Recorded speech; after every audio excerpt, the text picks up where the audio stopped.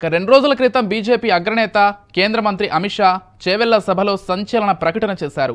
తెలంగాణలో తాము అధికారంలోకి వస్తే ముస్లింల రిజర్వేషన్లు రద్దు చేస్తామన్నారు. వాటిని ఎస్సీ ఎస్టీ బీసీలకు కేటాయిస్తామని చెప్పారు. ఎంఐఎం నేతల అజెండాపైనే సీఎం కేసీఆర్ పనిచేస్తున్నారని ఆరోపించారు. ప్రస్తుతం కారు స్టీరింగ్ ఎంఐఎం నేతల చేతుల్లోనే ఉందన్నారు. ఈ నేపథ్యంలో హిందుత్వ కార్డును ప్రయోగిస్తూ వారి రిజర్వేషన్లను రద్దు చేస్తామని ప్రకటించారు. అయితే ఇది ప్రయోగాన్ని కర్ణాటకలో ప్రయోగించాలని చూసి విఫలమయ్యారు. ఈ విఫల ప్రయోగాన్ని ఇప్పుడు బీజేపీ అగ్రనేత తెలంగాణలో అమలు చేస్తామని ప్రకటించారు. అయితే ఇది ఎంతవరకు ఫలిస్తుందన్నది చర్చనీయాంశంగా మారింది. కర్ణాటకలో వక్కళిగలు లింగాయత్ల ఓట్లను ఆకర్షించడానికి అక్కడ ముస్లింలకు ఇస్తున్న రిజర్వేషన్ను రద్దు చేసి రెండేసి శాతం చొప్పున వక్కాళిగలు లింగాయత్లకు పంచేశారు ఈ నిర్ణయంపై కర్ణాటకలో నిరసన వ్యక్తమవుతోంది.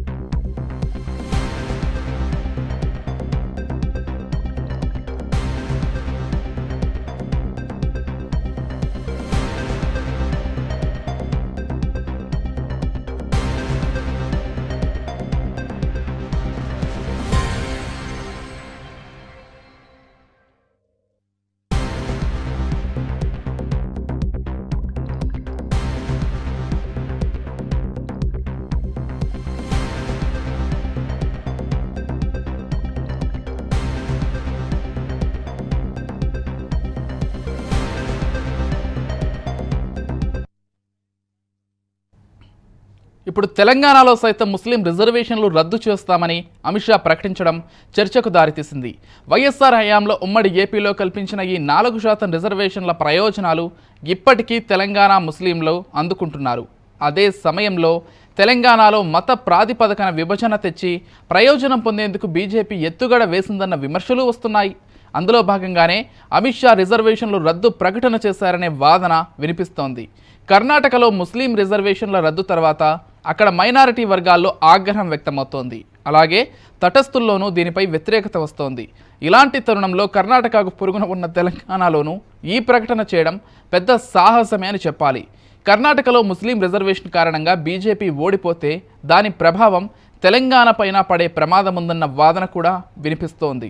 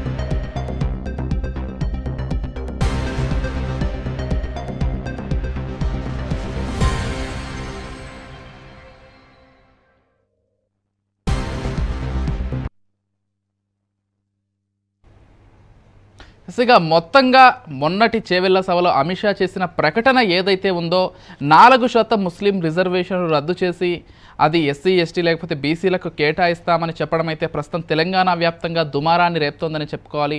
అంటే ఇప్పటికే మన పొరుగు రాష్ట్రమైనటువంటి కర్ణాటకలో దీన్ని అమలు చేసే దిశగా కొంత విఫలయత్నం చెందారని చెప్పుకోవాలి. అక్కడ తటస్థ వర్గాల నుంచి కూడా వ్యతిరేకత ఎదురయ్యింది అంటే పరిస్థితి ఏ విధంగా అర్థం చేసుకోవచ్చు? మొత్తానికి ఈ అంశానికి సంబంధించి ఈ రిజర్వేషన్ అంశానికి సంబంధించి మనతో పాటు డిస్కస్ చేయడానికి సిద్ధంగా ఉన్నారు. డాక్టర్ అందే సత్యం గారు అనలిస్ట్ అదేవిధంగా బందా జగన్నాథన్ గారు బీఆర్ఎస్ పార్టీ నుంచి అదేవిధంగా శ్రీనివాస్ గారు బీజేపీ నుంచి ముందుగా ముగ్గురికి కూడా నమస్కారం అండి. నమస్కారం. ఎస్ సత్యం గారు యాజ్ అనలిస్ట్గా మీరు ఏ విధంగా చూస్తారండి? అంటే ఈ రిజర్వేషన్ల అంశానికి సంబంధించి మీ అభిప్రాయం ఏంటి? అంతేకాకుండా బీజేపీ హిందుత్వ కార్డును మళ్ళీ ప్రయోగించింది అనేది ఆ, ఇతర ప్రతిపక్ష నేతలు కావచ్చు లేకపోతే అనలిస్టులు కావచ్చు గట్టిగా వ్యాఖ్యానిస్తున్నారు. దీనికి సంబంధించి మీరు వ్యక్తిగతంగా ఈ మొత్తం అంశానికి సంబంధించి ఎలా స్పందిస్తారండి సత్యం గారు?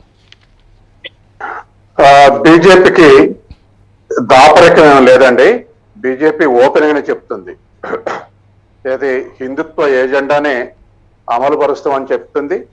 గత దశాబ్ద కాలంగా అమలు పరుస్తుంది అన్ని రంగాల్లో కూడా. కాబట్టి బీజేపీ చెప్పకుంటే ఏం చేయలేదు. చెప్పే చేస్తుంది. అట్లే కర్ణాటకలో నాలుగు శాతం రద్దు చేసి లింగాయత్తు ఒక్క లింగాయత్తు వీళ్ళకు ఇ- ఇవ్వటం వల్ల ఆ అమలు జరగలేదు. సుప్రీంకోర్టు స్టే విధించింది. అది ఎలక్షన్ల తర్వాత హియరింగ్ వస్తుంది. ఎలక్షన్ల ముందు దాన్ని అమలు చేయడానికి వీల్లేదని స్టే విధించింది.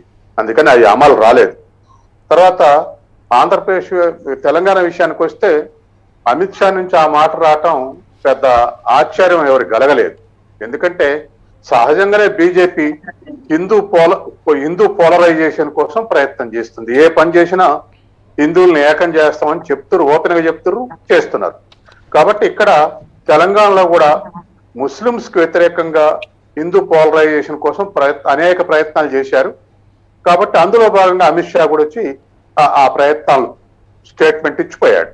అయితే రిజర్వేషన్లని అంబేద్కర్ పెట్టింది సోషల్ అప్రెస్డ్ క్లాసెస్ ఆయన ఆయన రాసిన దాంట్లో కూడా ఆ నాలుగు వర్ణాల్లో శూద్రుల్లో ఉన్నటువంటి కులాలు బాగా అణచివేయబడ్డాయి సోషల్గా నిరాకరించబడ్డాయి. వెలివేయబడ్డాయి కాబట్టి ఇటువంటి వాళ్ళకు రిజర్వేషన్స్ ఉండకపోతే ఆ భవిష్యత్తులో సమాజం ఆ ఏకీకరణ కష్టం అని చెప్పేసి వీళ్ళు కూడా హిందువులే. ఈ శూద్రుల్లో ఉన్నటువంటి వాళ్ళు కూడా హిందువులే. కాబట్టి ఇటువంటి వాళ్ళకు రిజర్వేషన్ లేకపోతే సమాజం చీలిక గురవుద్దని చెప్పేసి ఆనాడు అంబేద్కర్ ముందు చూపుతూ అవి పెట్టాడు.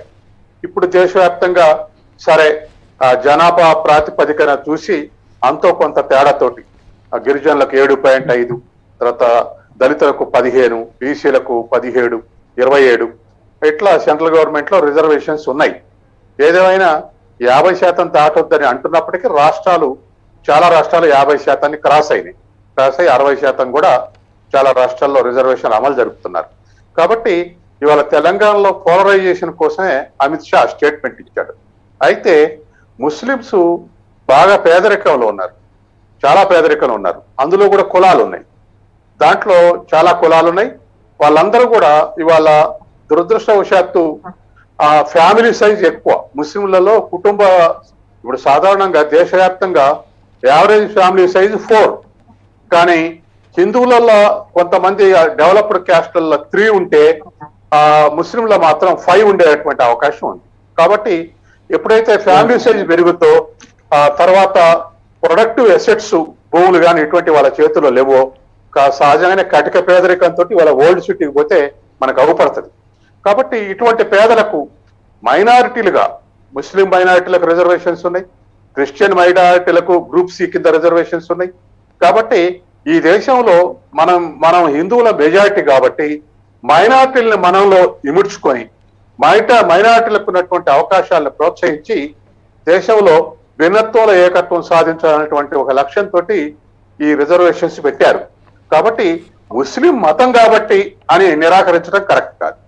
వాళ్ళ వాళ్ళ అణిచివేయబడ్డ కులం తర్వాత ఇప్పటికి కూడా అనేక ముస్లింలు బాగా పేదరికంలో ఉన్నటువంటి స్థితి చదువు తక్కువ ఉన్నటువంటి స్థితి వీటన్నిటి దృష్ట్యా మనం ఏ వర్గాన్నైనా సమాజం నుంచి దూరం నెడితే ఎటువంటి రిజల్ట్స్ వచ్చినాయో వందల ఎగ్జాంపుల్స్ ఉన్నాయి ఈ దేశంలో. కాబట్టి మనం ఇమిడ్చుకునే ప్రయత్నం చేయాలి తప్ప దూరం చేసేటువంటి ప్రయత్నం చేయకూడదు.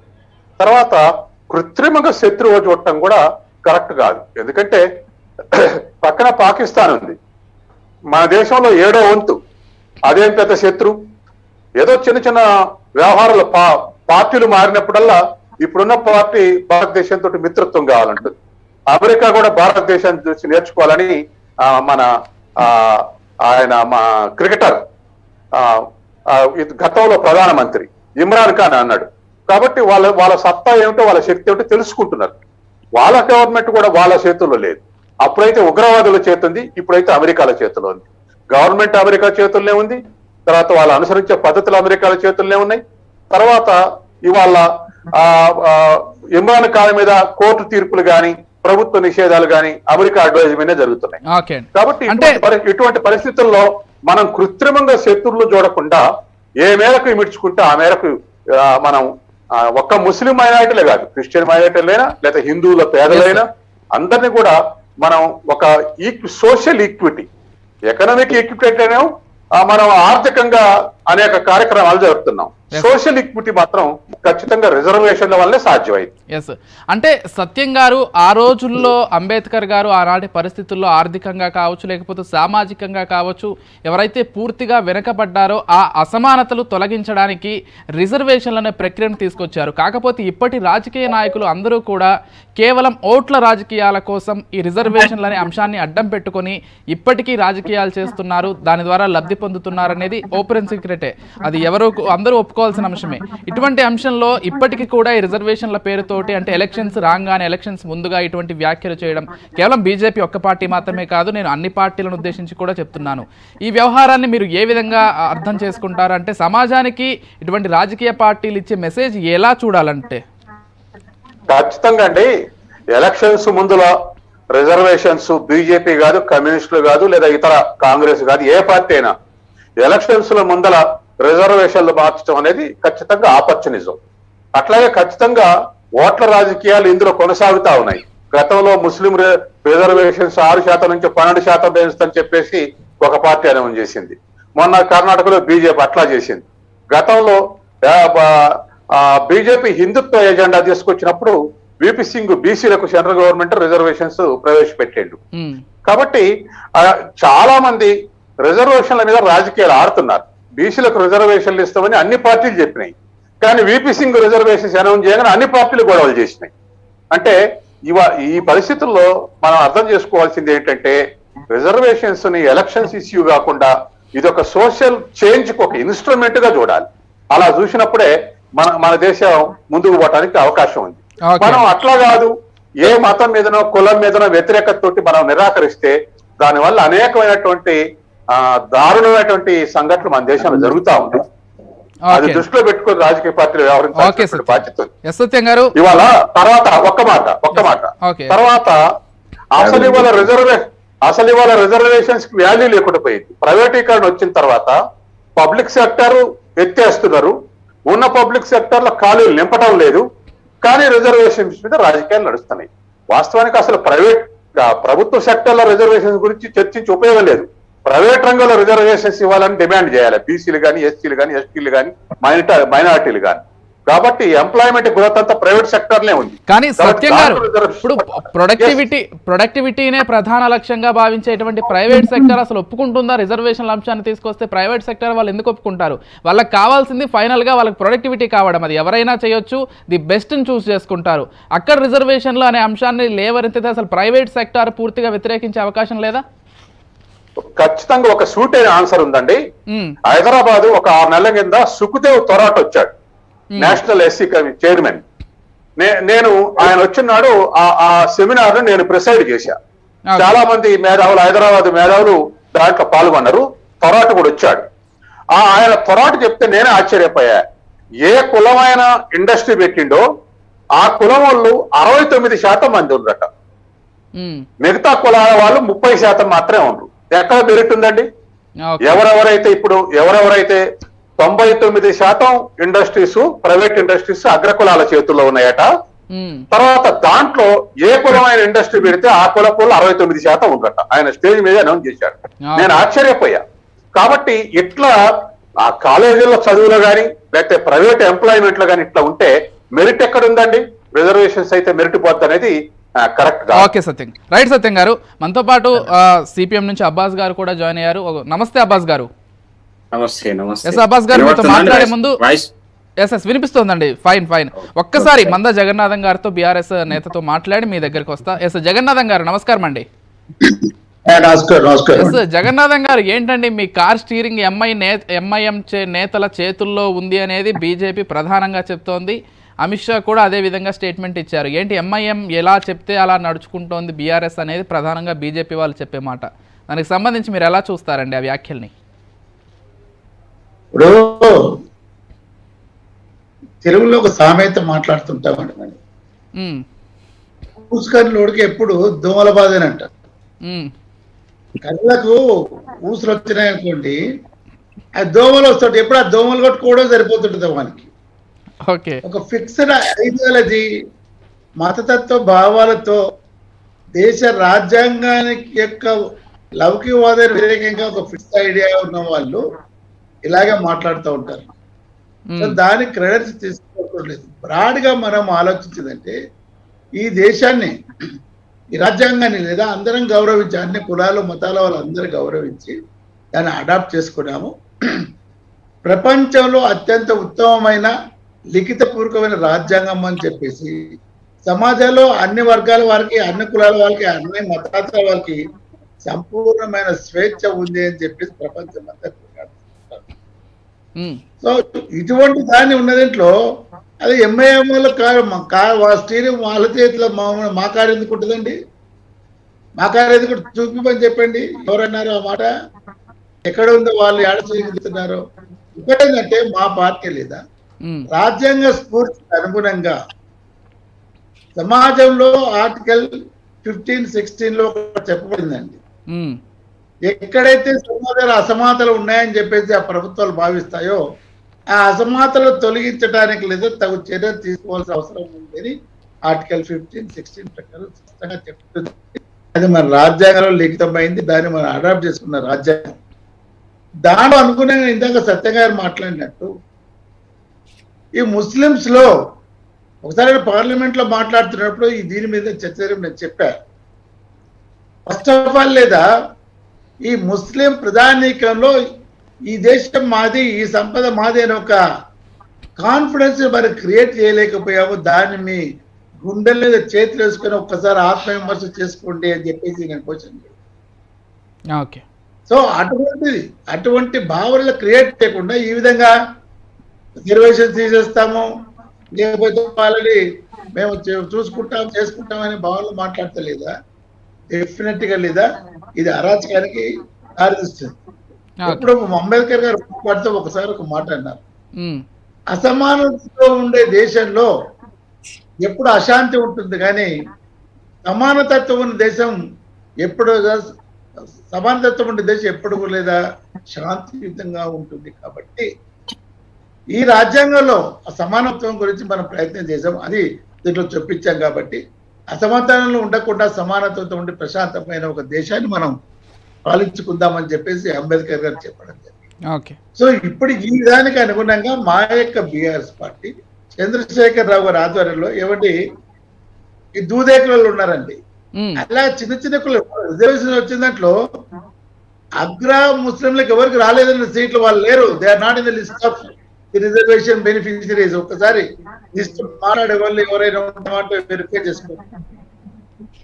అగ్రవంతులుగా ఉండి అగ్రకులాలు వాళ్ళు ఉన్నాయి ఈ ముస్లింస్ వాళ్ళకి రిజర్వేషన్ లేవండి.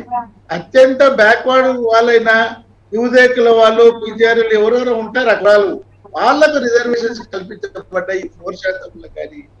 బాగా ధనవంతులైన వాళ్ళకు అగ్రవర్ణంలాగా ఉన్న వాళ్ళకు ఈ రిజర్వేషన్స్ ఇది రాజ్యాంగ స్ఫూర్తితో ఇది నైతిక బాధ్యత. ఏ ప్రభుత్వం అయితేనంటే ఎన్నిక కాబడుతుందో ఆ ప్రభుత్వం యొక్క నైతిక బాధ్యత ఈ యొక్క రాష్ట్ర ప్రభుత్వాలదే కాదు. ఇప్పుడు పక్కన కర్ణాటకలో ముస్లిం రిజర్వేషన్ తీసేసలేదా ఒక్కరిగా లింగాయతులు. లింగాయతుల most powerful and dominant community. ధనవంతుల కమ్యూనిటీ. ఒకరిగా కమ్యూనిటీ. వాళ్ళకి రిజర్వేషన్స్ ఎందుకండి?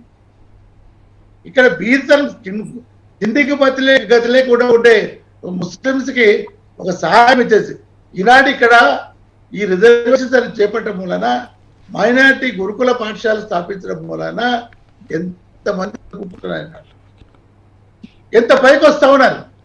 దీన్ని మనం ఒక లౌకిక స్ఫూర్తిగా తీసుకొని ముందుకు పోవాలి కానీ అంబేద్కర్ గారు చెప్పినట్టు ఈ జాతిని విడగొట్టే విధానానికి స్పష్ట చెప్పాలి. మరి ఇప్పుడు బీజేపీ యొక్క ఎక్కడ కూడా రాజ్యాంగంలో వీళ్ళు మాట్లాడే మాటలు లేవండి. కానీ వీళ్ళు వచ్చి వీళ్ళు అన్వయించుకుని అధికారంలో ఉన్నారు కాబట్టి. తాను చెప్పిందే వేదం అన్నట్టు. నేను చెప్పి వాళ్ళు చెప్పింది అమలు కావాలని అంటే ఈ దేశంలో మన రాజ్యాంగం ప్రకారం అవి వీలు కాదు. ఆర్టికల్ ఫిఫ్టీ సిక్స్టీన్ ప్రకారం క్లియర్ రాసింది. ఏ రాష్ట్రంలో అయినా కానీ ఏ దేశం అయినా కానీ అసమానతలు ఉన్నాయి. సాంఘిక అసమానతలు పర్టికల్ కమ్యూనిటీ కంటే పర్టికల్ వ్యవస్థ వాళ్ళ బీదత్వంలో ఉంది వాళ్ళకు సరైన ప్రాతినిధ్యం లేదంటే దాన్ని సరిచేసే యొక్క అధికారం సో వీటిని దృష్టిలో పెట్టుకుంటే ఈ యొక్క ముస్లింస్కు ఫోర్ శాతం రిజర్వేషన్ ఇవ్వడం జరిగింది. దీనికి ఒక మంచి కార్యక్రమం ఇది ఏంటంటే వాళ్ళలో దేశభక్తి నింపుతాయి రెండు వాళ్ళకు నమ్మకం క్రియేట్ చేయడానికంటే ఈ దేశంలో ఉన్న సంపద మీరు కూడా భాగస్తున్నారు నాయన. మీరు కూడా భాగం పంచుకోండి మీరు కూడా ఈ దేశం దేశంలో ఉన్నారని చెప్పి చెప్పడానికి చేసే ప్రయత్నాలు కానీ వీటిని ఏదో స్టీరింగ్ వాళ్ళ చేతి వాళ్ళ ఎమ్మెల్యేలు ఎంతమంది అండి? వాళ్ళు లేకుండా మా ప్రభుత్వం నడవదా? మా ప్రభుత్వం వాళ్ళు ఇప్పుడు వెళ్ళిపోయినారు బయట మా ప్రభుత్వం నడవదు పడిపోతాం. మా ప్రభుత్వం ఏమన్నా? ఒకటి గాలి మాటలు మాట్లాడదంటే స్టీరింగ్ వాళ్ళ చేతిలో ఉంది. వీళ్ళ చేతిలో ఉంది రైట్ జగన్నాథ్. ఎస్ ఎస్ మీ మీరు చెప్పిన అంశాలకు సంబంధించి ఒకసారి బీజేపీ నుంచి శ్రీనివాస్ గారు కూడా ఉన్నారు. మరి వారేం చెప్తారో చూద్దాం. ఎస్ శ్రీనివాస్ గారు నమస్కారం అండి. శ్రీనివాస్ గారు వినిపిస్తోంది నా వాయిస్?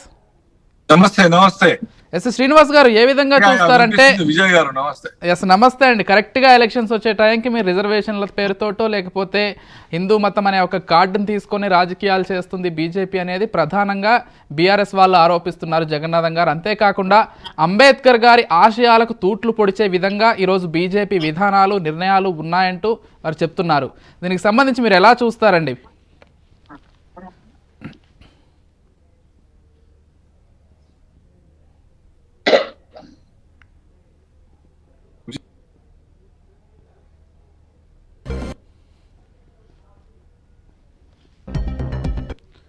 ఎస్ శ్రీనివాస్ గారు.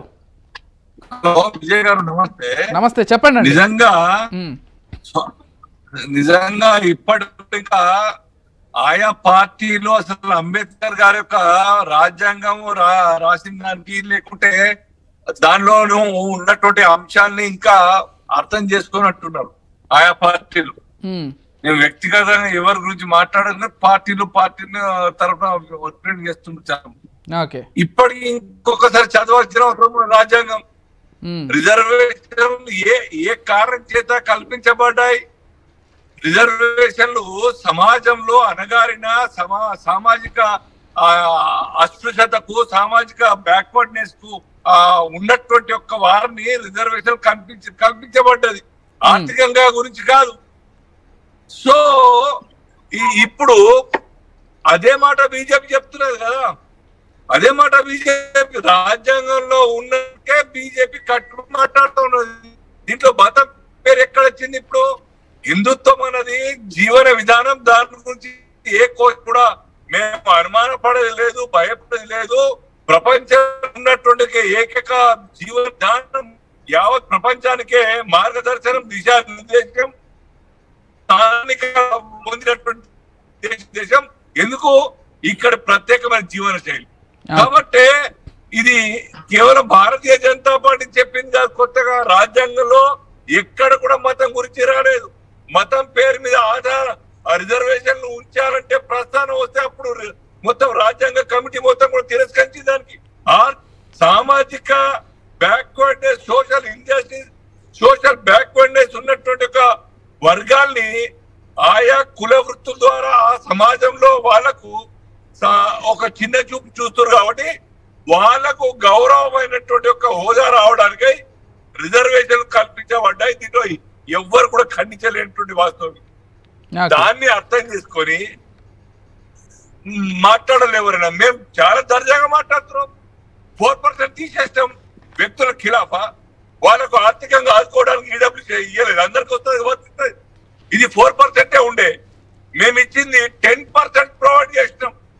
మోదీ గారు ఆర్థికంగా వెనుకబడ్డటువంటి యొక్క వెనుక వెనుకబడ్డటువంటి యొక్క వర్గాల్ని ఆదుకోవడానికై పది శాతం రిజర్వేషన్ కల్పించి ఈ దేశ చరిత్రలో ఒక ముఖ్యమైనటువంటి నిర్ణయం తీసుకొని ప్రజలకు మరి యొక్క అందుబాటులో తీసుకొచ్చిన రిజర్వేషన్ వ్యవస్థ. అంతే ఉండాలి కానీ ఓట్ల కోసం రిజర్వేషన్లు మాట్లాడడం ఓట్ల కోసం వర్గాలు చీల్చడం ఆనాడు చిన్న ఇంట- ఒక చిన్న ఇంటర్వెన్షన్ శ్రీనివాస్ గారు ఒక చిన్న చెప్పండి ఇంటర్వెన్షన్. చెప్పండి. చెప్పండి.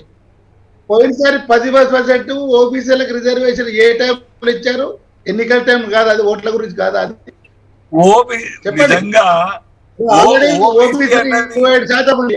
మళ్ళీ పంజాబ్ ఇచ్చింది ఎన్నికల టైంలోనే కాదా? అది మతం పేరు మీద మతం పేరు మీద మంద జగన్ గారు మతం పేరు మీద కావు కదా అవి?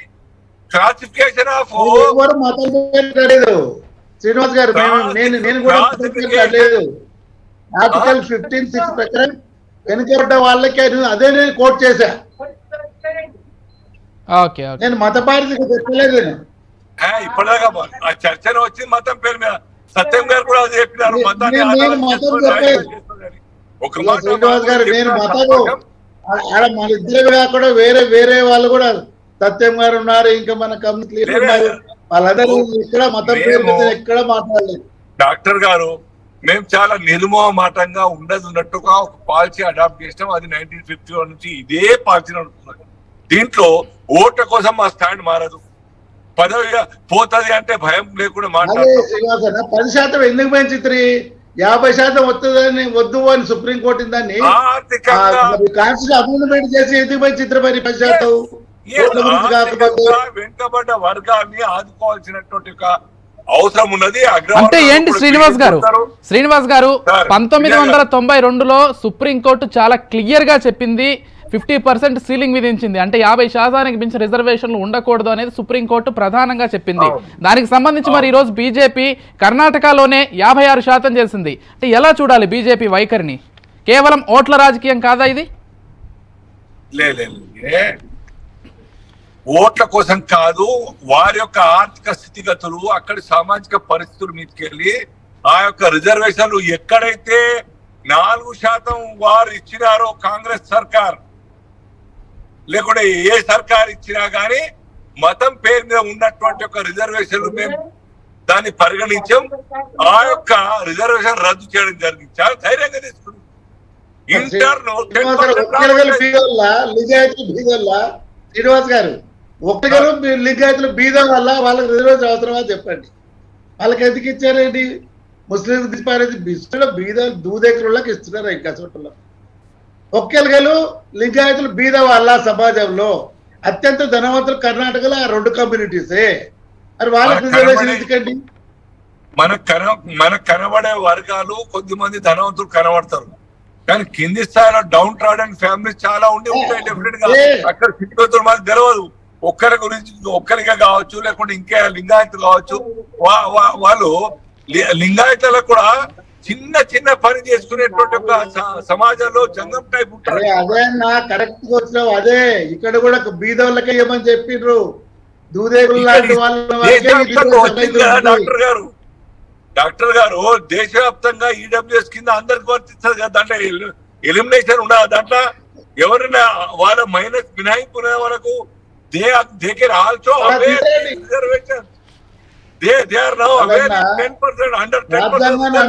తీసుకురండి బీదోళ్ళకి అందరికి జనాభా లెక్క చేసి అన్ని కులాలకు అతీతంగా బీదోళ్ళకి ఇవ్వండి ఎవడొద్దన్నారు ఎవరు వద్దలేదు దానికోసం టెన్ పర్సెంట్ సార్ లేదు లేదు జగన్నాథం గారు ఇప్పుడు ఇప్పుడు ఆర్థికంగా వెనుకబడిన వాళ్ళకి రిజర్వేషన్లు అంటే మళ్ళీ చర్చ ఎటో పోతుంది ఎలక్షన్ ప్రాక్టీస్ ఎలక్షన్ చేశారు అది ఓకే. అది అందరికి తెలిసింది వేరే వాళ్ళు కూడా ఉన్నారు మాట్లాడుకుంటే బాగుంటుంది. Okay okay Jagan yes yes Abbas గారు ఉన్నారు.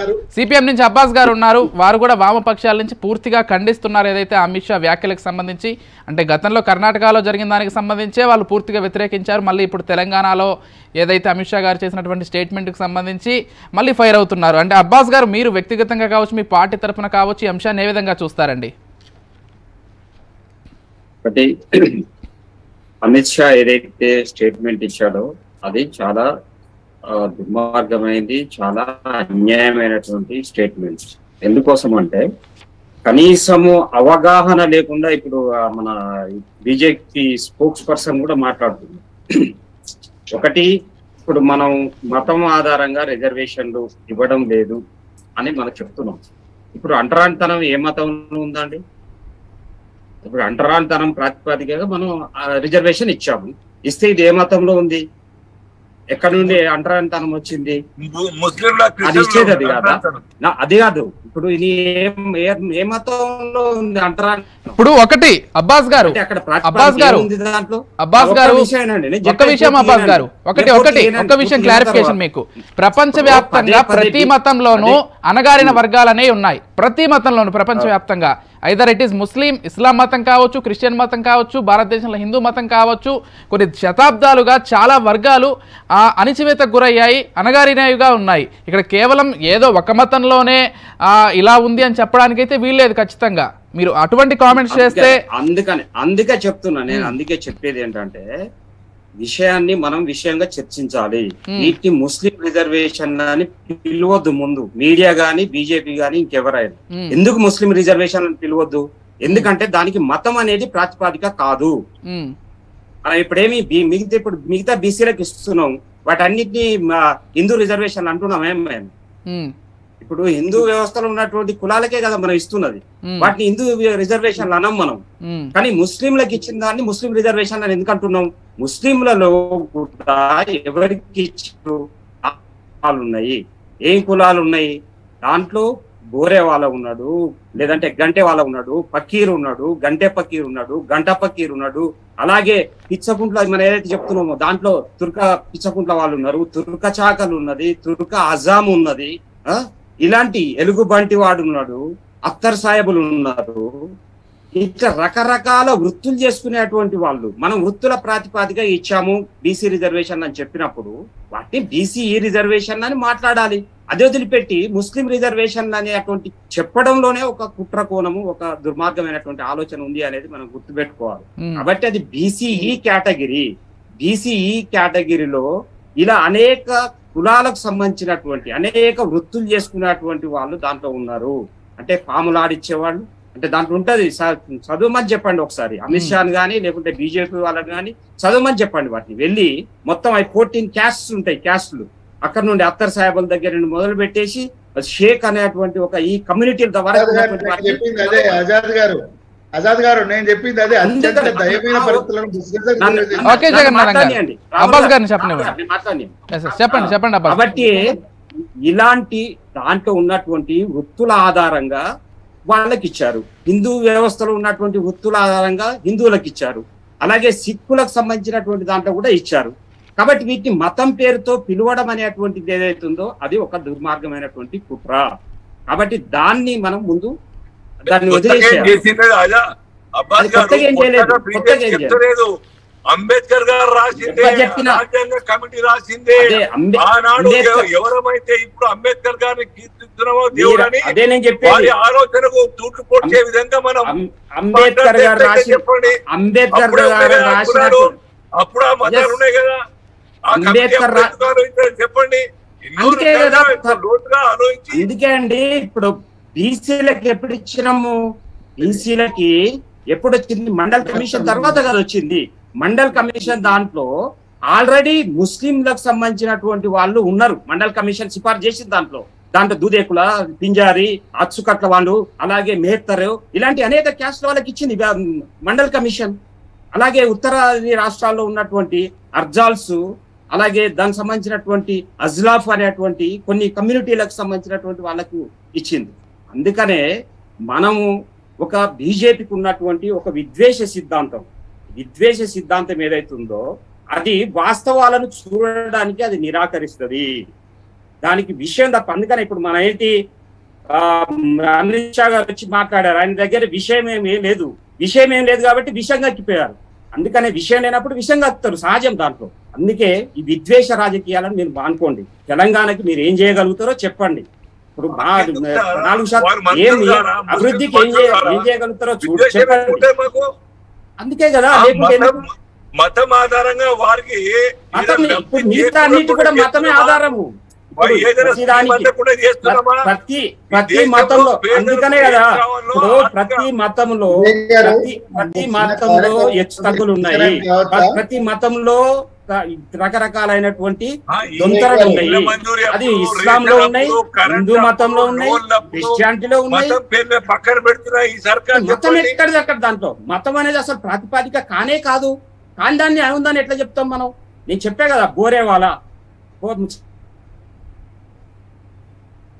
విజయ్ గారు ఎస్ ఎస్ నాకు కార్యక్రమం నేను డిస్కనెక్ట్ కావచ్చా?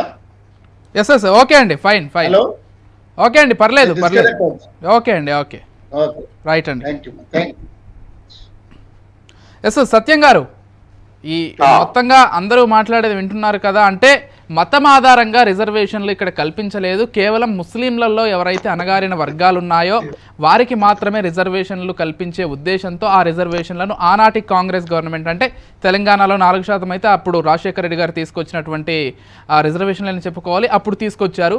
కేవలం మతం పేరు చెప్పి ఈరోజు రిజర్వేషన్లను తొలగించడం అనేది అన్యాయం అని చెప్పుకుంటున్నారు అబ్బాస్ గారు అయితే దానికి సంబంధించి ఎలా చెప్తారండి? అబ్బాస్ గారు చెప్పింది కరెక్ట్ అండి. మతం పేరు మీద రిజర్వేషన్స్ లేవు. తర్వాత మండల కమిషన్ సందర్భం కూడా సుప్రీంకోర్టు ఇచ్చింది ఏంటంటే రిజర్వేషన్స్కు ఎకనామిక్ క్రైటీరియా తీసుకోవద్దు సోషల్ క్రైటీరియానే తీసుకోవాలని చెప్పింది. కాబట్టి అంబేద్కర్ ఆనాడు ఆలోచించింది కూడా సోషల్ గానే సోషల్ అప్రెస్డ్ క్యాస్ట్కు రిజర్వేషన్ అవసరం అని చెప్పేసి చెప్పాడు.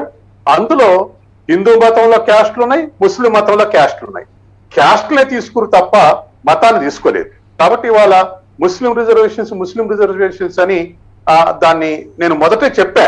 ఈ ముస్లిం కాదు మైనారిటీలు. క్రిస్టియన్ మైనారిటీలు ముస్లిం మైనారిటీ అనేక మైనారిటీలు ఉన్నారు. అట్లా ఆలోచించారు తప్ప మత ప్రాతిపదికన రిజర్వేషన్ చేసలేదు అనేది లేదు. తర్వాత రెండో అంశం ఏంటంటే ఇవాళ ఈ ఇది నిజంగా ప్రజల్ని మభ్యపెట్టడానికి పార్టీలు చేసేటువంటి పని. ఎన్ని ఉద్యోగాలు పబ్లిక్ సెక్టర్లో వస్తున్నాయి ఎన్ని రిజర్వేషన్ల కింద ఇస్తున్నారు? ఏం లేదు. అంతా గుర్రం ఎదురుగా గడ్డిపోస గట్టి దానికి అందకంట గట్టి చూపే చూపెట్టినట్టు చెప్తున్నారు. కాబట్టి వాళ్ళ ఇవాళ ఉన్నటువంటి పరిస్థితుల్లో ఉద్యోగాలు ఎక్కడైతే జనరేట్ అయితే అక్కడల్లా ఈ పాలసీని ఇంప్లిమెంట్ ఇంప్లిమెంట్ చేస్తే అప్పుడు వాస్తవానికి రిజర్వేషన్స్ అమలైనట్టు. తర్వాత మరొకటి కూడా కేంద్ర ప్రభుత్వం ఇంతకుముందు శ్రీనివాస్ గారు చెప్పారు. మోడీ గారు ఈడబ్ల్యూఎస్ పేరు మీద రిజర్వేషన్స్ పది శాతం తీసుకొచ్చారండి. అంటే ఎకనామికల్లీ వీకర్ సెక్షన్స్ యూడబ్ల్యూఎస్ పేరు మీద పది శాతం తీసుకొచ్చారు. నేనేమంటానంటే actually it is leakage to the reservations ఇది రిజర్వేషన్స్ నీరు గార్చడానికి ఈ పది శాతం ఉపయోగపడతాయి అంటున్నా. ఎందుకో ఉపయోగపడతాయి అంటే దీంట్లో ఆ పేదలు క్లెయిమ్ చేస్తే పర్వాలేదు. అగ్రకులాలే ముందు అగ్రకులాలు డెవలప్డ్ అయినటువంటి వాళ్ళే సర్టిఫికెట్ ప్రొడ్యూస్ చేస్తున్నారు. ఇవాళ మీరు చూస్తున్నారుగా రేషన్ తెల్ల రేషన్ కార్డులు ఎవరి దగ్గర ఉన్నాయో? ఇరవై ఎకరాల రైతుల దగ్గర కూడా ఇరవై ఎకరాల రైతు దగ్గర కూడా తెల్ల రేషన్ కార్డు ఉంది. కాబట్టి ఎకనామికల్ వీక్ వీకర్ సెక్షన్స్ కాకుండా సోషల్ వీకర్ సెక్షన్స్ చేస్తే అది బీజేపీ చేసిన మేలు జరుగుద్ది కాంగ్రెస్ చేసిన మేలు జరుగుద్ది మరి కమ్యూనిస్టులు చేసిన మేలు జరుగుద్ది. కాబట్టి సోషల్లీ అనేది క్రైటీరియా అది సుప్రీంకోర్టు ఇచ్చింది. కాబట్టి ఇవాళ ఈడబ్ల్యూఎస్ కింద క్లెయిమ్ చేసిన వాళ్ళ అటువంటి కుటుంబాలను శాంపుల్ సర్వే చేయండి. ఎవరుంటారో? అసలు అట్టడుగు వారికి చదివే లేదు. అగ్ర కులాల్లో కూడా అట్టడుగు వాళ్ళకు చదివే లేదు. మళ్ళీ ఎవరు దీన్ని క్లెయిమ్ చేసేదంటే డెవలప్డ్ క్యాస్ట్నే డెవలప్డ్ మనుషులే క్లెయిమ్ చేస్తారు. ఇవాళ వైట్ కార్డులు అన్ని ఆ, ఇరవై ఎకరాల రైతుల దగ్గర ఉన్నట్టు ఉంటాయి. కాబట్టి సో ఎకనమిక్ క్రైటీరియా అనేది కరెక్ట్ కాదు. రిజర్వేషన్స్ ప్రాతిపదిక సోషల్ క్రైటీరియానే ఈ సోషల్ క్రైటీరియా ప్రకారే గిరిజనులు దానికే వస్తారు. తర్వాత దళితులు దానికే వస్తారు. బీసీలు దానికి ఎందుకే వస్తారు? ఈ మైనారిటీస్ దానికి ఎందుకు వస్తారు? Whether it is Muslim or Christian కాబట్టి ఈ విధంగా చూడాలి తప్ప ఇది ఒక ఓట్లను ఓట్లను దృష్టిలో పెట్టుకొని ఆ ఒకదానికి ఒకటి రెచ్చగొట్టుకుంటే ఏముంది? ఇప్పుడు ఆ పోయేదేముంది రాజకీయ పార్టీలో పోయేదేముంది ఇప్పుడు పంజాబ్లో ఒకప్పుడు ఉగ్రవాదం రెచ్చగొట్టుకుంటే రెండు ముఠాలు ఉగ్రవాదం వచ్చేసిన తర్వాత వాళ్ళు తప్పుకోరు పారిపోయి ఆ రాష్ట్రాల నుంచే పారిపోయి రెచ్చగొట్టే వాళ్ళు త్యాగాలు చేసినంత వల్ల ఆడ ప్రోగ్రెసివ్ సెక్షన్స్ ఎవడన్నా గాని. ఇది కూడా అంతే. రేపు ఎరప్ట్ అయితే ఇది రెచ్చగొట్టే వాళ్ళందరూ పక్కకు పోతాం. ఇంకెవడో త్యాగం చేస్తాడు. ఆ స్థితి మనం ఎదుర్కోవాల్సి Yes, అంటే సత్యం గారు ఇప్పుడు శ్రీనివాస్ గారు కావచ్చు బీజేపీ కావచ్చు ప్రధానంగా చెప్పేది ఏంటంటే అంబేద్కర్ గారు రాజ్యాంగంలో చాలా క్లియర్గా కుల ప్రాతిపదికన మాత్రమే రిజర్వేషన్లు కల్పించాలని చెప్పారు. ఎక్కడా కూడా మత ప్రాతిపదికన మైనారిటీలకు రిజర్వేషన్లు కల్పించాలనే అంశం రాజ్యాంగంలో ఎక్కడా లేదు. మేము ఉన్నదే కదా అమలు పరుస్తున్నాం దానికి ఎందుకు ప్రతిపక్షాలు రాద్ధాంతం చేస్తున్నాయనేది శ్రీనివాస్ గారు ప్రధానంగా అడుగుతున్నటువంటి క్వశ్చన్. దానికి సంబంధించిన అభిప్రాయం. కాదండి ఇప్పుడు హిందువులల్లా రెడ్డిస్ కమ్మాసు బ్రాహ్మణులకు తెలంగాణ లెక్క అయితే రిజర్వేషన్స్ లేవో ముస్లింలో కూడా అగ్ర ముస్లింలకు రిజర్వేషన్స్ లేవు. ఎందుకు? అందులో కూడా లోయర్ క్యాస్ట్ ఇప్పుడు ఇంతకుముందు అబ్బాయి చెప్పినట్టుగా పద్నాలుగు క్యాస్ట్ల క్యాస్ట్లు అతి హీనంగా బతుకుతున్నాయి. అతి హీనంగా బతుకుతున్నాయి. వాళ్ళకుంటాం తప్పే అవుద్ది తప్పెట్టవుద్దండి ఇప్పుడు. సత్యం గారు సత్యం గారు ఇప్పుడు అదే టెన్ పర్సెంట్ కింద కవర్ అవుతుందిగా ఈ ఫోర్ పర్సెంట్ ఎందుకు? టెన్ పర్సెంట్ కింద అందరికి అవైలబుల్ ఉన్నది కదా అది? టెన్ పర్సెంటేజ్ కదా శ్రీనివాస్ గారు ఒక సిన్సియర్ అప్పీల్ మీకు ఒక అప్పీల్ ఏంటంటే టెన్ పర్సెంటేజ్ కింద రిజర్వేషన్స్ క్లెయిమ్ చేసినటువంటి కుటుంబాలు ఏవో- ఏయో వచ్చిన తర్వాత ఒకసారి సర్వే చేయండి. నేను కూడా చెప్తా బీసీ చూపించండి.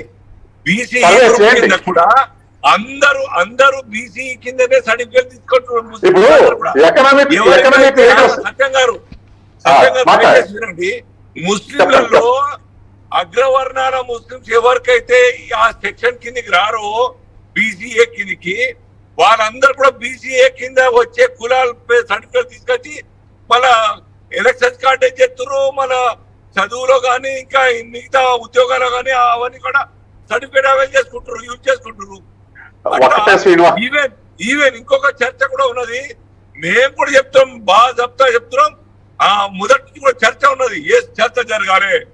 ఎకనామికల్గా ఎదిగినటువంటి కుటుంబాలు సామాజికంగా గౌరవప్రదం స్థితిలో ఉన్నటువంటి కుటుంబాలు కూడా ఈ రిజర్వేషన్ నుంచి జోన్ నుంచి బయటికి రావాలి. ఎందుకు రావద్దు?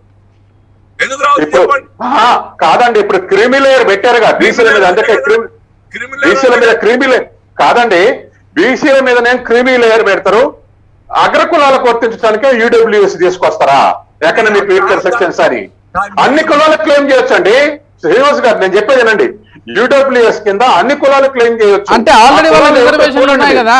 ఇప్పుడు సత్యం గారు వాళ్ళకి ఆల్రెడీ కొంత పర్సెంట్ వరకు రిజర్వేషన్లు కల్పించారు కదా మళ్ళీ ఈడబ్ల్యూఎస్ కింద ఎందుకు అనేది బీజేపీ వాదన ఉండొచ్చు. కాదు అసలు యూడబ్ల్యూఎస్ తీసుకొచ్చిందే మోడీ. బీజేపీ వాళ్ళు కాదు. తీసుకొచ్చిందే మోడీ గారు. తర్వాత ఒకటి ఏంటంటే ఇప్పుడు నా అప్పీల్ ఏంటంటే ఇవి అవి ఇవి సైంటిఫిక్గా సైంటిఫిక్గా అమలు జరగాలి. అట్లా కాకుండా వాళ్ళకి ఎవరికి కోపం వస్తుంది? ఉన్న రిజర్వేషన్లు ఎత్తేసి లేని వాళ్ళకి కల్పిస్తే ఆ అందులో ఆ సోషల్ బ్యాక్వర్డ్ వాళ్ళకి కల్పించాలని రిజర్వేషన్స్ ఉంటే ఈడబ్ల్యూఎస్ ఇన్కమ్ సర్టిఫికెట్లు ఎవరు తెస్తారండి? ఇన్కమ్ సర్టిఫికెట్లు ఎవరు తెస్తారు? ఇన్కమ్ సర్టిఫికేట్ ఎకనామిక్ క్రైటీరియా అంటే ఇన్కమేగా ఇన్కమ్ సర్టిఫికేట్ మండల ఆఫీస్ ఎవరు తెచ్చుకోగలరు? పలుకుబడి ఉన్న వాళ్ళే తెచ్చుకోగలరు. ఇవాళ మనం చూడట్లే తెల్ల రేషన్ కార్డులు ఎవరికి ఉన్నాయి? మూడు ఎకరాల పైన ఉండలకు ఉంది. అందరూ ఇప్పుడు రాష్ట్ర రాష్ట్రంలో తెలంగాణ సంబంధించి- కోటి కుటుంబాలు ఉంటే కోటి పది లక్షలు రేషన్ కార్డులు ఉన్నాయి. ఎక్కడ తెచ్చుకుంటట్టు వీడు కాబట్టి దీన్ని దృష్టిలో పెట్టుకొని మనం బీజేపీ అని అనాల్సిన పని లేదు లేకపోతే ఇంకొకరిని అనాల్సిన పని లేదు. శ్రీనివాస్ గారు ఏదో చెప్తున్నారు చెప్పండి. చెప్పండి అధికారులు శ్రీనివాస్ అధికారులు చేసే తప్పుకు ప్రభుత్వం యొక్క పాలసీ ఎట్లా తప్పు కొడతాం మనం? ఆ అధికారులు తప్పుని ఫ్రెండ్గా మనం ప్రశ్నించాలి. ప్రశ్నించాలి. సమాజంలో ఇంకా ఇంకొక విషయం చెప్తాను నేను. దళితులకు ఆనాడే అంబేద్కర్ గారు వారి కమిటీ మొత్తంగా కూడా హిందూ ధర్మం తీవ్ర విధానాన్ని నష్టపరచదు సంస్కృతికి నష్టం జరిగే ఉద్దేశంతో కన్వర్షన్స్కి ఎంకరేజ్ చేయకుండా ఎవరైనా దళితులు క్రిస్టియానిటీ అడాప్ట్ చేస్తా అంటే వాళ్ళకు బీసీ ఏ గ్రూప్ కింద రాయడం జరిగింది. Which has only one. Percent of reservation BCA కాదండి. శ్రీనివాస్ గారు బీసీఏ కాదు బీసీసీ బీసీ అదే బీసీ ఈ group sir. Sorry BC CCC group. Okay See, what BC what C group one ఇప్పుడు percent సత్యం గారు ఉన్నది. సత్యం గారు. ఎస్ ఇంకో Ah, బిగ్గెస్ట్ క్వశ్చన్ అండి. ఎవరైనా కానీ ఇప్పుడు అంబేద్కర్కు దేవుళ్ళగా చూసేవాళ్ళం నిజంగా అంబేద్కర్ని బాగా కీ- కీర్తించేవాళ్ళు. నిజాయితీగా కన్వర్ట్ అయిన వాళ్ళు కన్వర్ట్ అయినట్టుగా వాళ్ళు సరెండర్ చేయాలి కదా. దాని గురించి మీరు మాట్లాడరు కదా. బీసీల గురించి ఎందుకు? మాట్లాడతారు? మాట్లాడతారు? అట్లా కాదు. ఈ మధ్య ఏం చేశారు? చెప్పండి సత్యం గారు కన్వర్ట్ అయ్యి ఓకే ఓకే. శ్రీనివాస్ గారు. ఓకే గుడ్ పాయింట్ అండి. శ్రీనివాస్ గారు ఆ, సత్యం గారు ఇదే అంశానికి సంబంధించి కన్వర్ట్ అయిన వాళ్ళు మేము ఇలా కన్వర్ట్ అయ్యాము మాకు దీని కింద రిజర్వేషన్ కోటా కిందకి రామని ఎంతమంది సబ్మిట్ చేస్తున్నారు అనేది కూడా పెద్ద క్వశ్చన్ గానే ఉంది కదా దానికి ఆన్సర్ ఏమిటంటే దానికి ఆన్సర్ ఏమిటంటే కన్వర్ట్ అయినంత మాత్రాన వాళ్ళ స్టేటస్ పెరగట్లేదు. ఇప్పుడు దళితుడు కన్వర్స్ట్ క్రిస్టియన్ ఒక మాట అండి. దళితులు ఒక ఒక మాటలో మాట్లాడండి. దళితులు క్రిస్టియన్గా కన్వర్ట్ అయిదాం అనుకుంటున్నాం అన్నాడు అనుకుందాం. రెడ్డిస్ కూడా చాలా మంది రెడ్డిస్ కన్వర్టెడ్ క్రిస్టియన్స్ ఉన్నారు మ్మ్. దళితులు కన్వర్టెడ్ క్రిస్టియన్స్ నుంచి రెడ్డి కన్వర్టెడ్ క్రిస్టియన్ మ్యారేజ్ చేసుకుంటున్నారా మ్మ్. అంటే కన్వర్షన్ అయినంత మాత్రం వాళ్ళ సోషల్ స్టేటస్ మారట్లేదు ఓకే. అంటే సత్యం గారు ఇక్కడే. మీరు చెప్తున్నట్లుగానే సామాజిక పరిస్థితులను బట్టి ఈ రోజు వెళ్ళాలి అనుకుంటే మరి కేవలం కేవలం సామాజికంగానే కాదు అంటే ఏదైతే ఆర్థికంగా కూడా ప్రజలందరూ బలపడినప్పుడే అసమాన అసమానతలన్నీ తొలగిపోతాయి అనేది కూడా వాస్తవం కదా. మరి దాన్ని బట్టే మేము ఈడబ్ల్యూఎస్ తెచ్చాము ఎకనామికల్లీ బ్యాక్వర్డ్ ఉన్న వాళ్ళు కూడా అందరూ పైకి రావాలనే ఉద్దేశంతో ఈడబ్ల్యూఎస్ని తెచ్చామనేది బీజేపీ వాదన. మరి దానికేం చెప్తారు? నేను చెప్పేది అదేనండి. ఈడబ్ల్యూఎస్ తెస్తే తెచ్చినప్పుడు దాంట్లో అందరికీ వర్తిస్తుంది. అగ్ర కులాలకు కూడా రిజర్వేషన్ అప్లై అవుద్ది. ఏది? ఇన్కమ్ సర్టిఫికేట్లో ఇన్కమ్ సర్టిఫికేట్ తీసుకొస్తే. కాబట్టి ఇవాళ వాళ్ళు బెనిఫిట్ అవుతున్నారు తప్ప పేద రెడ్డిస్ చదువురాని రెడ్డిస్ చదువురాని కమ్మీస్ తర్వాత పురోహితులు ఉన్నటువంటి పేదలు వాళ్ళు చదువు ఎక్కడ చదువుకుంటున్నారు? ఎక్కడ సర్టిఫికేట్ తెచ్చుకుంటున్నారు? అదే ఆ ప్రశ్న. అంటే మీరు చెప్పేది వాస్తవాలే మాట్లాడారు. అంటే ఇక్కడ మారాల్సింది. ఈడబ్ల్యూఎస్ని పూర్తిగా ఎత్తేసే కంటే సమాజంలో ఇలా ఏదైతే జరుగుతోందో ఆ సిస్టమ్ని మార్చుకోవాలి కానీ పూర్తిగా ఈడబ్ల్యూఎస్ Yes, తప్పంటే ఎలా అనేది శ్రీనివాస్ గారు ఇందాక కూడా క్వశ్చన్ చేశారు. అంటే సిస్టమ్లో ఏదైతే ఈ లోపాలు జరుగుతున్నాయో ఒక అధికారి ఒక అధికారి కేవలం ధనవంతుడికి మాత్రమే ఈ సర్టిఫికెట్లు ఇస్తున్నప్పుడు అటువంటి సిస్టమ్ని మార్చుకోవాలి కానీ మనం పూర్తిగా ఈడబ్ల్యూఎస్ అనే విధానాన్ని వ్యతిరేకించడం ఎంతవరకు కరెక్ట్ అనేది శ్రీనివాస్ గారి చుట్టూ కాదండి చుట్టూన్నటువంటి కండిషన్స్ని బట్టి మనం అప్లై చేయాలి. చుట్టూన్న కండిషన్స్ అప్లై కావట్లేదు అనుకోండి మనం ఖచ్చితంగా అది ఫెయిల్యూర్ అవుతుందని మనం దాన్ని కన్సిడర్ చేయాలి. ఇవాళ ఎస్సీకి రిజర్వేషన్ పెట్టారు.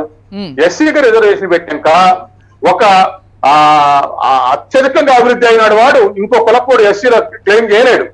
ఆ- బ్యారియర్ ఉంటుంది. ఓకే ఆ బ్యారియర్ ఉంటుంది. అట్లాగే బీసీ వాడు రిజర్వేషన్ ఇస్తే ఇంకొకటి వచ్చి ఆ బీసీలో క్లెయిమ్ చేయలేడు. Hmm. కానీ ఈడబ్ల్యూఎస్ లా ఈ బలిసిన వాళ్ళందరూ కూడా క్లెయిమ్ చేస్తారు. అదే సందర్భంలో బీసీలు డెవలప్ అవుతున్నటువంటి బీసీ క్యాస్ట్లకు బీసీలో ఉన్నటువంటి రిజర్వేషన్లో డెవలప్ అయినటువంటి వాళ్ళకు త్రీ లేయర్ పెట్టారు. లేదు సార్ ఎస్సీ నాలా ఎస్టీ నాలా ఇంకెవరైనా ఏ వర్గమైనా కావచ్చు. బాగా డెవలప్ అయిన వాళ్ళు ఆ సర్టిఫికేట్ వాడకుండా ఉంటున్నారు ఎవరైనా? కానీ వాళ్ళ వాళ్ళ వాళ్ళ స్టేటస్ మారిందండి. ఒక మన. సత్యం గారు ఆహా, సత్యం గారు. ఒక- దళితుడు ఒక దళితుడు ఒక దళితుడు ఐఏఎస్ అయింది అనుకుందాం. ఒక దళితుడు ఐఏఎస్ అయింది అనుకుందాం. ఐఏఎస్ యొక్క క్యాస్ట్ డిస్క్రిమినేషన్ కొనసాగట్లేదా? మరి కొనసాగుతుందా కొనసాగట్లేదా? అంటే ఇప్పుడు సత్యం గారు. మరి మరి సత్యం గారు ఇప్పుడు మీరు చెప్తున్నట్లయితే ఇంకా ఇంకా కొన్ని వందల సంవత్సరాలు ఇటువంటి రిజర్వేషన్లు కొనసాగినా కానీ ఈ డిస్క్రిమినేషన్ అయితే అలాగే ఉంటుంది కదా? అంబేద్కర్ పదేళ్ళ పదేళ్ళు అనుకొని అంబేద్కర్ రిజర్వేషన్ తీసుకొచ్చాడు. అవును. కానీ డెబ్బై ఏళ్ళ డెబ్బై ఏళ్ళ ఆయన ఎందుకు వస్తుంది? అంటే హరిజనుల గిరిజనుల పరిస్థితి మారలేదన్న విషయం అనేక సెన్సెస్ చెప్తున్నాయి. తర్వాత ఎన్ని రిజర్వేషన్స్ కల్పించినా వాళ్ళు ఉత్పత్తి కారకాలకు యజమానులుగా మారలేకపోయారని చెప్తున్నాం. తర్వాత అనేక చోట్ల చట్టాలు తెచ్చినా వాళ్ళ చేతులకు భూములు మారలేదని చెప్తున్నాం. ఇవన్నీ నిజాలు. వాళ్ళ చేతులకు భూమి మనం భూ సంస్కరణ చట్టం తెచ్చినా వాళ్ళ చేతుల్లో భూమి లేదు. ఉమ్, రిజర్వేషన్స్ తెచ్చినా ఇవాళ వచ్చే ఉద్యోగాల్లో వాళ్ళకి వచ్చేవి లేవు ఇవాళ ప్రైవేట్ రంగంలో మొత్తం ఎంప్లాయ్మెంట్ కొలాప్స్ అవుతుంటే ఇంకో పదేళ్ళు పొడిగిచ్చినా ఇదే పరిస్థితి ఉంటుంది. కాబట్టి ఆ పరిస్థితులు అట్లా మార్పు రావట్లేదు కాబట్టి ఈ రిజర్వేషన్ చట్టం ప్రొలాంగ్ అవుతా ఉంది. మార్పులు రావట్లేదు మీరు ఇందాక ప్రైవేట్ సెక్టర్ గురించి మాట్లాడుతూ చెప్పారు. ఈరోజు హైదరాబాద్ లాంటి ఒక నగరంలో అనేక ఐటీ కంపెనీస్ ఉన్నాయి. అవి గూగుల్ కావచ్చు లేకపోతే ఇన్ఫోసిస్ కావచ్చు లేకపోతే టీసీఎస్ కావచ్చు. ఇలాంటి వాటిల్లో ఏ మాత్రం కూడా క్యాస్ట్ని బట్టి ఎవరు తీసుకోవట్లేదు కదా. అది ఎవరైనా కానీ కాదండి కాదండి కాదండి. కాదండి. మనం చూడటానికి అట్లా అవుపడుతుంది. నేషనల్ లెవెల్లో సెన్సెస్ ఉన్నాయి. తర్వాత వెయ్యి మంది సెమినార్లు చెప్పాడు. ఏ క్యాస్ట్ అయితే ప్రైవేట్ ఇండస్ట్రీస్ ఏ క్యాస్ట్ అయినా పెడుతుండో ఆ క్యాస్ట్కు ఆయనకు సంబంధించినటువంటి కుల వాళ్ళు అరవై తొమ్మిది శాతం మంది. ఓదాటి ఎనభై అరవై తొమ్మిది శాతం మంది ఓన్ క్యాస్ట్ పనిచేస్తున్నారు. కానీ సత్యంగా నేను చెప్పిన ఇండస్ట్రీస్ అన్ని కానీ నేను చెప్పిన ఐటీ కంపెనీస్ అన్ని కానీ ఇంటర్నేషనల్ కదా. ఇంటర్నేషనల్ ఇప్పుడు ఇంటర్నేషనల్ అయినప్పుడు ఇంటర్నేషనల్ రిక్రూట్ పేరు వేరే ఉంటుంది. ఇవాళ నేను చెప్పేది నేషనల్ ఇండస్ట్రీస్. నేషనల్ ఇండస్ట్రీలో ఇది ఉందని ప్రధానంగా చెప్తున్నారు. భారతీయ భారతీయుల ఓనర్షిప్ ఉన్నటువంటి దాంట్లో. ఓకే. Right right. శ్రీనివాస్ గారు వింటున్నారు కదా సత్యం గారు ఏం చెప్తున్నారంటే క్లియర్గా ఇప్పటికీ కూడా ప్రైవేట్ సెక్టార్లో కూడా ఖచ్చితంగా రిజర్వేషన్లను తీసుకురావాల్సినటువంటి అవసరం ఉంది ఎందుకంటే వారు చెప్తున్నటువంటి లెక్కల ప్రకారం ఏంటంటే ఈ జాతీయంగా ఎవరైతే మన దేశంలో ఇండస్ట్రీస్ నెలకొల్పారో వాళ్ళ కులానికి వాళ్ళ వర్గానికి సంబంధించినటువంటి వాళ్ళు మాత్రమే ఆ ఇండస్ట్రీస్లో అరవై శాతం మంది పనిచేస్తున్నారు మిగిలిన కులాల అరవై ముప్పై తొమ్మిది. శాతం మంది పనిచేస్తారు అరవై తొమ్మిది ఆల్మోస్ట్. డెబ్బై శాతం విజయ్ గారు మ్మ్. అది ఒక్కటి ఆ ఆ రకంగా ఉండొచ్చు కానీ ఎవ్వరు కూడా తన కంపెనీ కోట్ల రూపాయలు పెట్టుబడి పెట్టి క్వాలిటీ లేనోళ్ళను స్టఫ్ లేనోళ్ళను తీసుకొని ఆ కంపెనీ దివాలా తీయాలని ఎవరు కోరుకోరు. నేషనల్ చైర్మన్ చెప్పింది. నేషనల్ చైర్మన్ చెప్పిన. ఒకటి అన్నిట్లో కాదు సార్ ఒకటి ఆరా అంటే అట్లా ఉండొచ్చు కానీ చూడండి మీరు. కేరళ కేరళ ఒక కంపెనీ ఉన్నది. ఇప్పుడు చాలా popular company Muslim company. Ninety nine point nine nine only ముస్లింలే తీసుకుంటారు ఆయన. అదే. అన్ని- చోట్ల ఉన్నాయి. అన్ని చోట్ల